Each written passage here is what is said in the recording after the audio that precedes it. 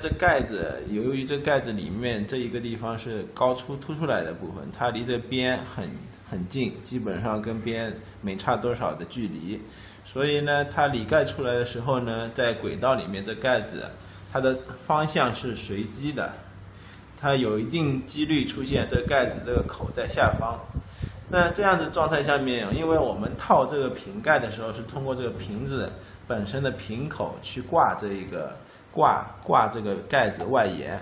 把它的盖子套上去，然后压下去旋。但是如果是挂到这个突出的部分的话，